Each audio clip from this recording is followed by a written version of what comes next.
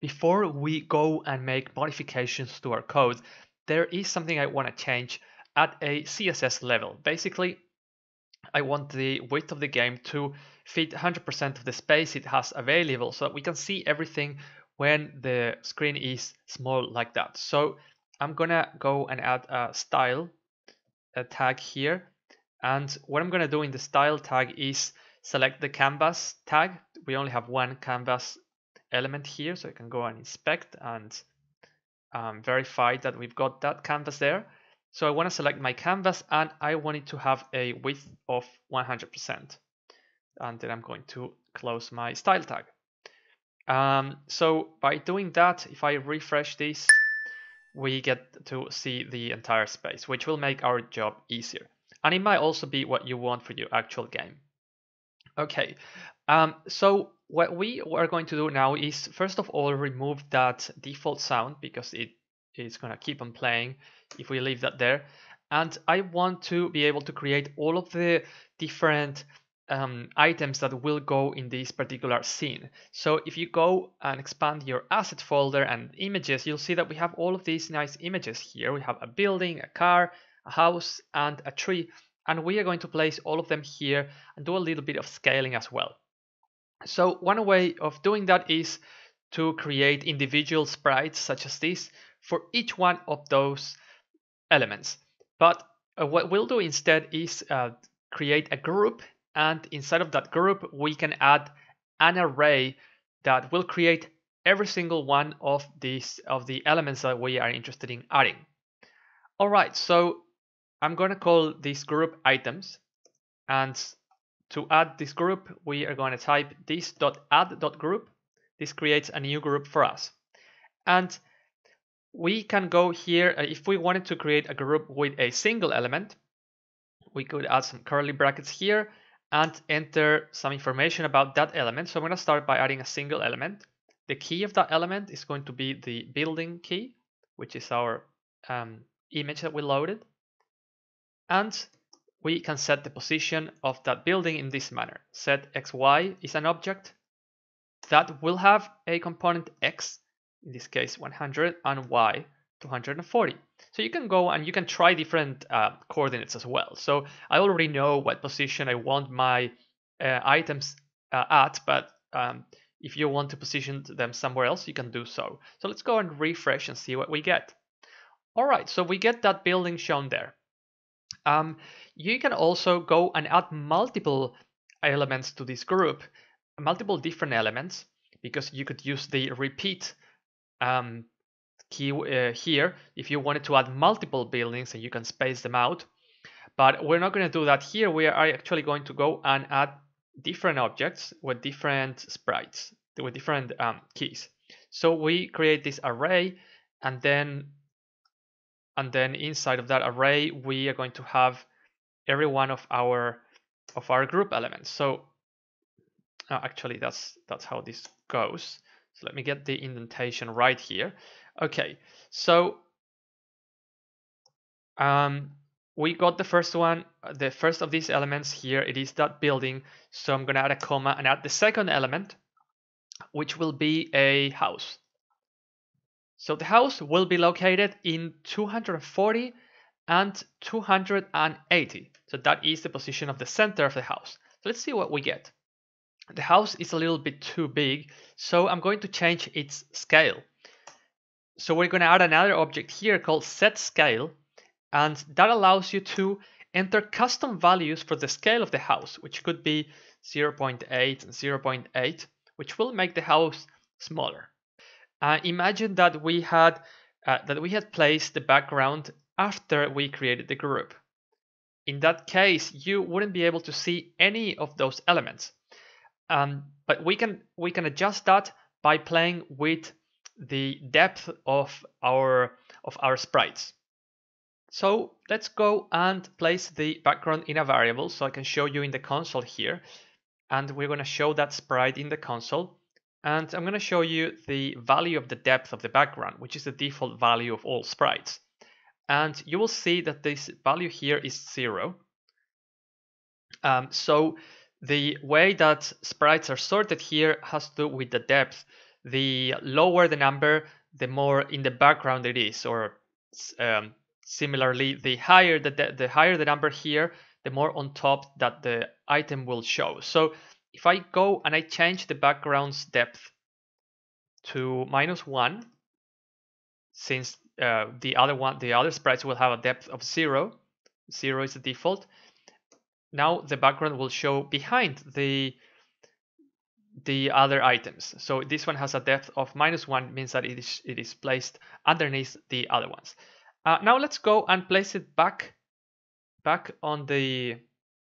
Oh, actually, let's let's let's remove this this line here because I want to show you something else, which is how what would you do regarding the group. So if instead of modifying the the background's depth, we actually want to change the depth of the elements in the group, then we can access our group these items and use the method called set depth. And we could set them all to be, um, in this case, one, so that it is higher than zero. Remember that background will have depth zero. So if our items have a depth of one, they will show on top of the background.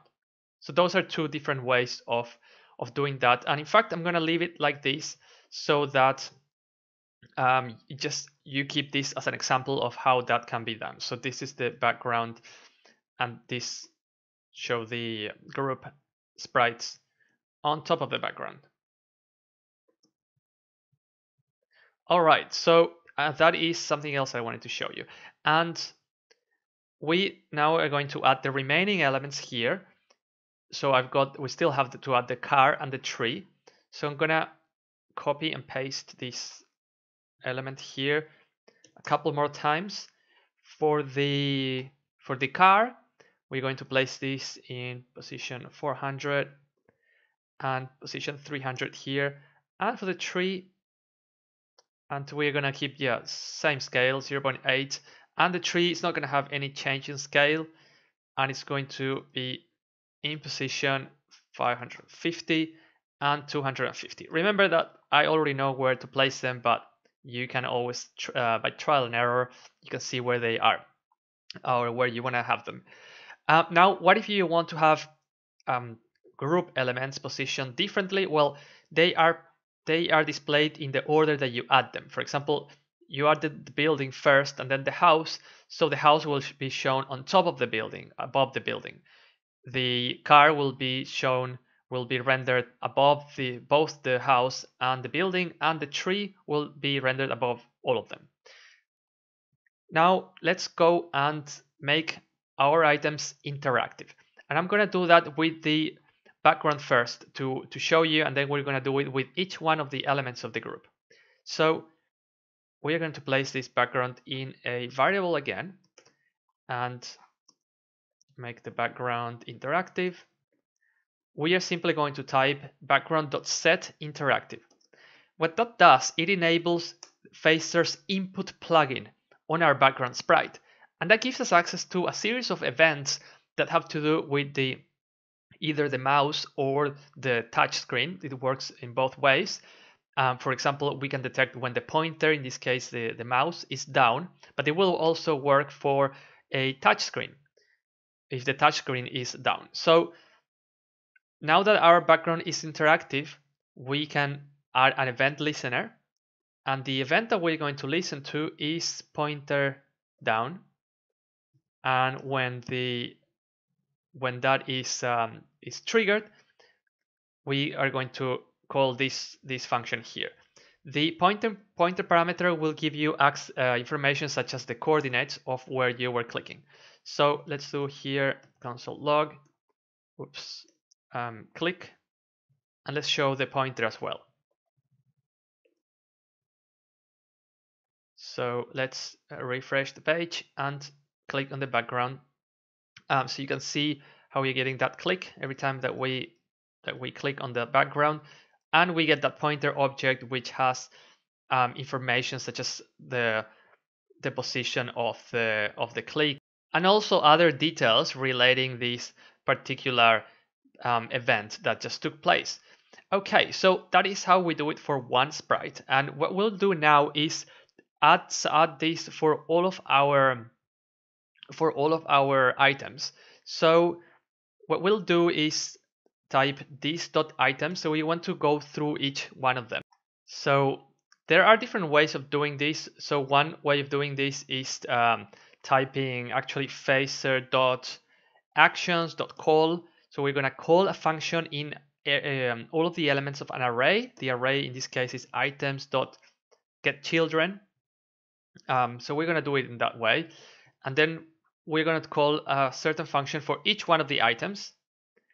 And lastly, we are going to pass in this, which is the current context of our of our scene object, so that we can access that object inside of this function.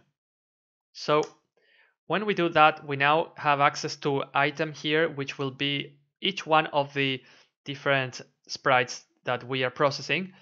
And what I wanted to do was to listen to the um, to the on down event. Same thing we did before for the background. But first I need to make the items interactive. So we're gonna get rid of this and we're going to add here, make the item interactive. Remember that item here is simply a sprite. So you can do anything that you can do with sprites. A group is nothing but a set of sprites.